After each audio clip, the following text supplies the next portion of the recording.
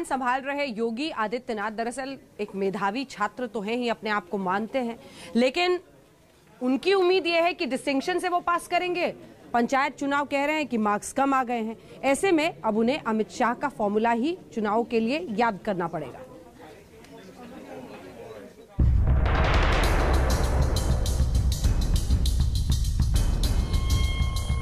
जबान पर जन्म और जेहन में जात उत्तर प्रदेश की सियासत का यही उसूल है और चुनावी जीत की गारंटी भी। वैसे तो देश में 1967 में ही पिछड़ी जाति की राजनीति की बुनियाद पड़ गई थी, लेकिन 1990 में मंडल आयोग की रिपोर्ट पर अमल होने के बाद पिछड़ी जात की राजनीति ने आकार लेना शुरू कर दिया। पिछड़ी जाति ने पार्टियों की सियासी गणित बनाने और बिगाड़ने का माता दिखाया। बीजेपी ने पिछड़ों के हाथों में पतवार सौंप कर ही सत्ता का स्वाद चखा। फॉर्मूला एकदम साफ़ है। अगली जाति साथ है। पिछड़ी जाति को साथ मिलाओ और सत्ता की कुर्सी पर बैठ जाओ।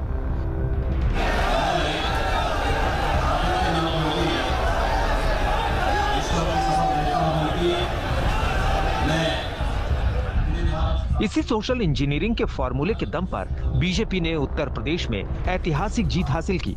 2017 में अखिलेश और राहुल की जोड़ी का रथ रोक दिया। तो 2019 में बुआ और भतीजे का। अब इसी फॉर्मूले पर बीजेपी 2022 में सियासी बिसात बिछाकर चुनावी मैदान में उतरेगी। इसे आप बीजेपी के कुछ पिछड़ी जाति के बड़े चेहरों से समझ सकते हैं।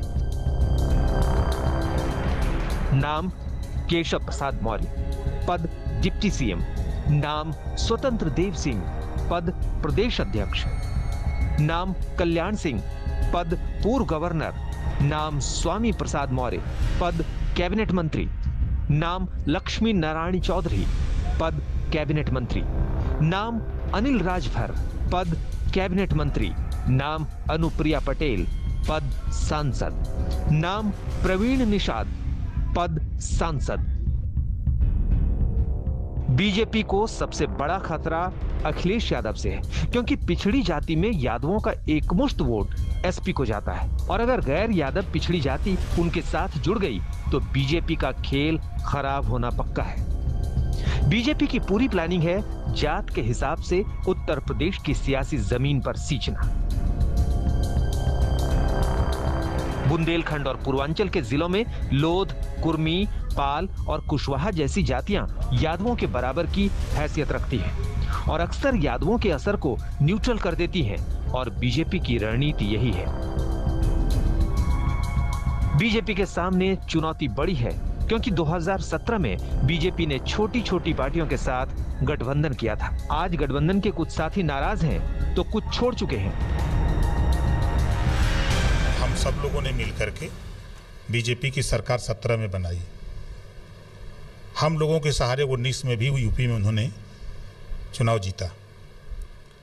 जब पिछड़ों के अधिकार की बात आती है तो हनन होता है। उनहत्तर हज़ार शिक्षक भर्ती में पाँच हज़ार आठ सौ चौवालीस पद योगी जी ने पिछड़ों का लूट लिया।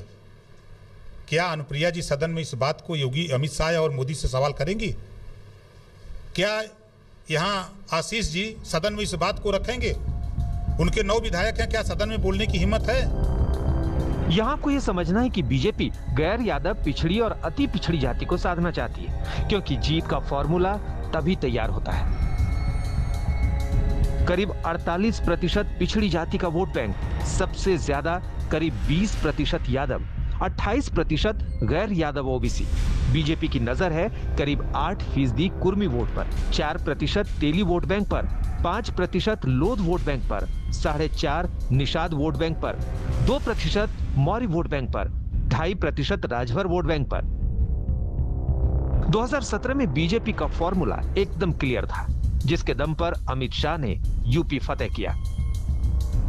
जनरल वोट बैंक, गैर पिछड़े वोट बैंक, दलित वोट बैंक, यानी बीजेपी की जीत। बीजेपी को पता है, बीजेपी ने पिछड़ी और अति पिछड़ी जात को साधने के लिए कई जिलों में पिछड़ों और दलितों को संगठन की कमान सौंप रखी है। लेकिन बीजेपी के प्लान 2020 पर विपक्ष प्रहार कर रहा है। 2022 से पहले चुनावी मौसम का आगाज़ हो गया और बीजेपी ने इसकी शुरुआत कर दी है। अब देखना होगा कि 2022 में बीजेपी की सोशल इंजीनियरिंग क्या सियासी बिसात पर एकदम सही साबित होगी, यानी शह और मात का खेल अभी बाकी है। सबसे बड़ा फैक्टर ओबीसी फैक्टर है और उसी की वजह से बीजेपी लगभग 50 प्रतिशत वोटिंग तक पहुँच गई है। और इसे बीजेपी किसी सूरत में खोना नहीं चाहती। ये जो पूरा का पूरा घटनाक्रम राजनीतिक आपको दिखाई दे रहा है, इसके पीछे एक बड़ी वजह यह है कि बीजेपी 2022 के चुनाव में एक बार फिर ओबीसी वोट बैंक पर अपनी नज़रें नज़रें गड़ाए हुए है और दोबारा से अपने वोट बैंक को उसी प्रचंड तरीके से पाना चाहती है। कुमार अभिषेक लखनऊ आज तक।